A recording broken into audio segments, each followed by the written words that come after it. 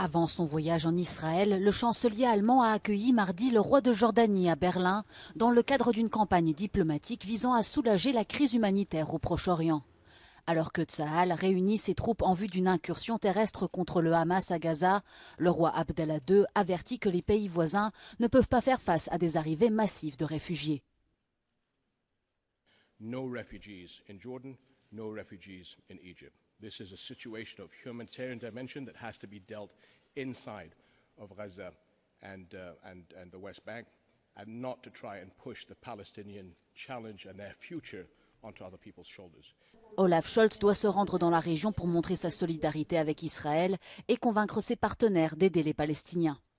In unserem Entsetzen über die menschenverachtende Gewalt der Hamas-Gewalttäter ist es wichtig zu differenzieren. Hamas. Hamas Recht, sprechen. Gaza, auch sie Opfer der Hamas. Les États-Unis prennent eux aussi part aux négociations.